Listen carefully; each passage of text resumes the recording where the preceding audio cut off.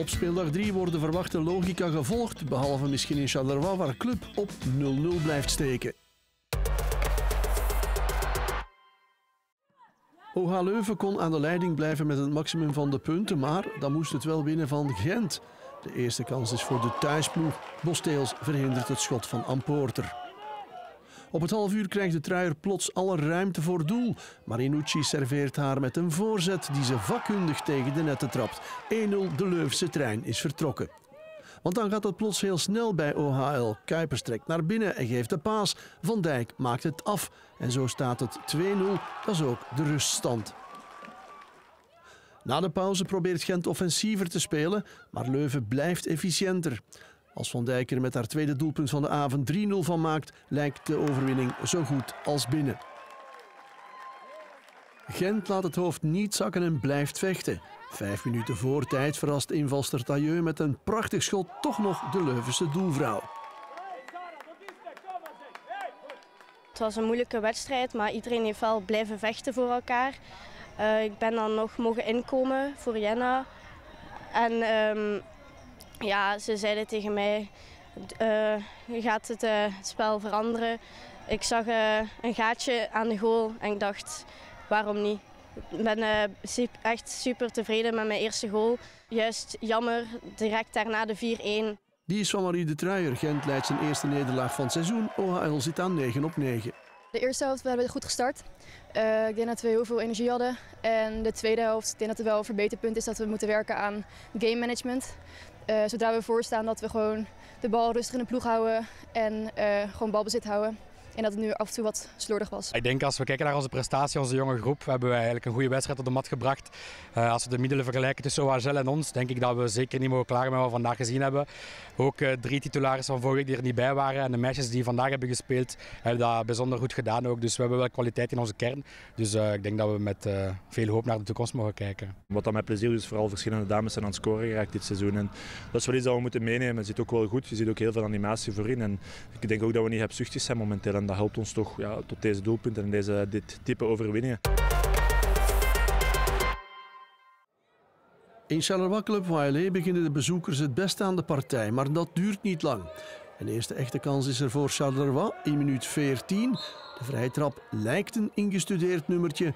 Het is niet Jadoul, maar Tom die trapt. Deli kan net niet bij de bal. Even later opnieuw Charleroi, opnieuw met een vrije trap en opnieuw met Tom.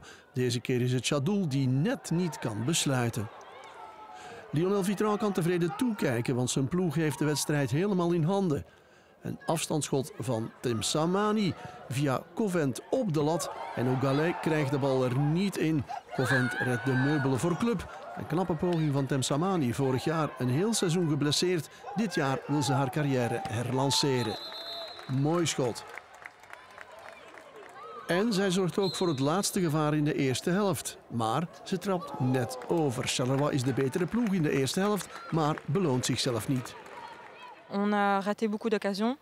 Euh, le, le, le, tir que je fais aussi, malheureusement, elle rentre pas. Je pense que si elle était dedans, ça aurait changé un, le match.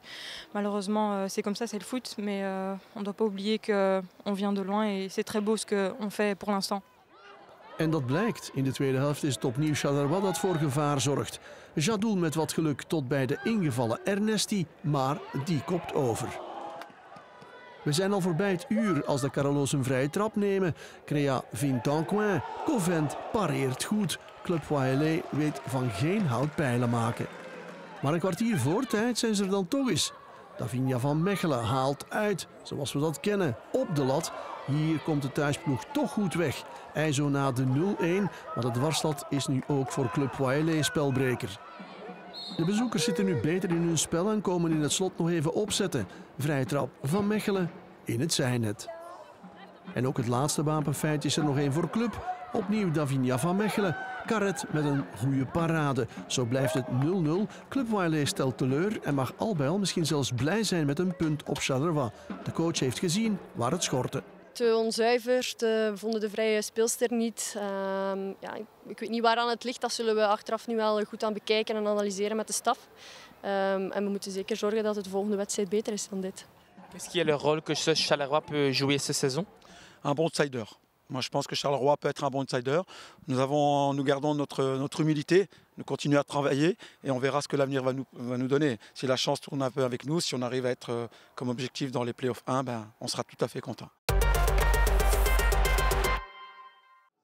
KV Mechelen heeft dit seizoen een nieuwe thuisbasis in Kontig. Aardig wat toeschouwers zijn opgedaagd en die zien KV fel starten en Aster Janssens na zeven minuten het openingsdoelpunt maken. Janssens op de valreep overgekomen van Stoudaar geeft haar eerste basisplaats meteen de nodige glans.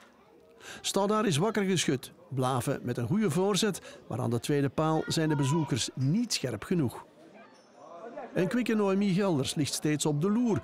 Na mooie actie dropt ze de bal over doel. Mechelen staat nu officieel onder druk. Fons schudt Trillaerts af, maar Barrett vindt het gaatje net niet. Stadaar blijft komen. Gelders legt de bal perfect aan de tweede paal af en wie anders dan Mariam Tolleba scoort haar derde weekend op rij. De bordjes hangen weer in evenwicht. Von blijft voor gevaar zorgen op de rechterflank en bedient Barrett, die nu toch haar eerste doelpunt voor de Rouchettes kan maken. Zo gaat Standaard na een moeizame start met 1-2 voorsprong de rust in. Mechelen start in de tweede helft met de nodige grinta en gaat meteen op zoek naar de 2-2. Bouarat met de pressing en een verdienstelijke poging. Vrijtrap Mechelen. De kopbal van Hellings geraakt maar moeilijk weg, maar de thuisploeg kan niet profiteren. Dan volgt een ongelukkig contact en Toloba gaat neer. De blessure lijkt ernstig. Toloba mist waarschijnlijk de topper tegen Anderlecht volgend weekend. Stoudaar recht de rug. Blaven is sneller dan Van Mingeroet en de 1-3 staat op het scorebord. De bezoekers zijn zichtbaar opgelucht en het wordt gevierd. KV is moe gestreden. Stoudaar zet Bakarna nog twee keer aan het werk, maar zij heeft twee knappe reddingen in huis.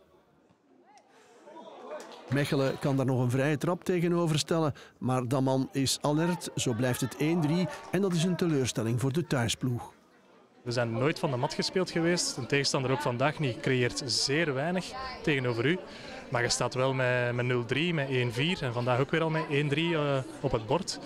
Ja, dat, dat zijn degene, de zaken waar we toch nog even moeten uh, aan verder werken.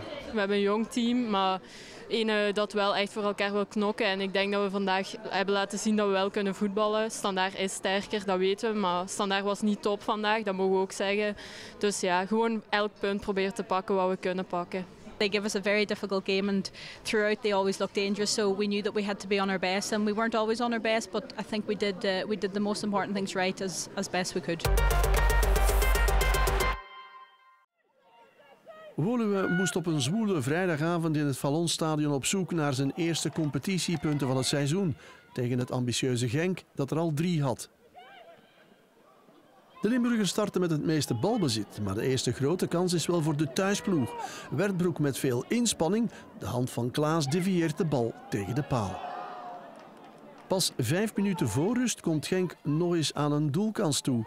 Lindsay van Bellen ontbindt haar duivels op links, dweilt na de zijlijn ook de achterlijn af en schuift de bal vanuit een scherpe hoek ook nog eens binnen. 0-1 na een geweldige actie van de jongste van Bellen.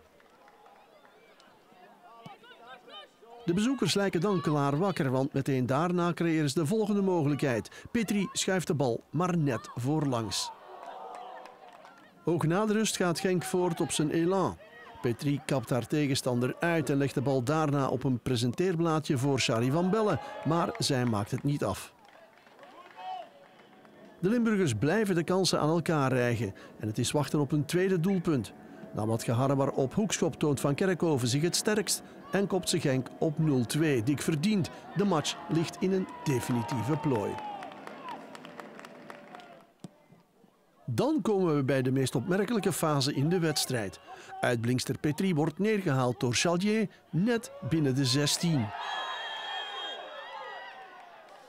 Rood en penalty is het oordeel. Charlier argumenteert nog wat met de scheidsrechter en wil niet meteen van het veld gaan. Van Kerkhoven zet intussen de penalty om, maar onderaan in beeld zien we dat Charlier nog steeds op het terrein staat. Dat heeft de lijnrechter ook in de gaten en dus moet de penalty opnieuw genomen worden als Charlier naar binnen is gegaan. Van Kerkhoven blijft kalm rond alle heisa en knalt de 11 meter opnieuw binnen. Maar hier maken de scheidsrechters toch weer geen goede beurt. Ik ben ook normaal gezien niet echt een penaltynemer. Um, dus ja, ik weet niet. Ik heb, ik heb in mijn hoofd gewoon zoveel mogelijk hetzelfde doen als wat ik daarvoor gedaan had. Alleen heb ik de andere ook gekozen nu. Um, ja, ik weet niet. Er ging eigenlijk niet veel door mijn hoofd en ik denk misschien dat dat wel het beste was. In het slot van de match pikt ook Luna van Zijr nog haar doelpuntje mee. Zo wint Genk eenvoudig met 0-4 van een onmondig Woluwe. Quand tu récupères le ballon et que tu ne sais pas te projeter rapidement vers l'avant, bah, tu, euh, tu te crées très peu, euh, très peu d'occasions. Donc aujourd'hui, c'est un problème il va falloir euh, remédier ça. Et je crois qu'aujourd'hui, physiquement, il faut le dire, on n'est pas prêt pour, pour, pour tenir un match complet en, Super League. Het uitslagenbord van speeldag 3 met vlotte zegens voor Genk, OHL en Standaard. SCV speelt woensdagavond nog tegen Anderlecht. In een onvolledig klassement blijft OHL op kop met 9 op 9 en zijn KV Mechelen en White Star nog steeds op zoek naar een eerste competitiezege. Komend weekend is Standaard Anderlecht onze live-topper. Voor de hoogtepunten van alle wedstrijden is er Lotto Super League Rewind. Tot volgende maandag.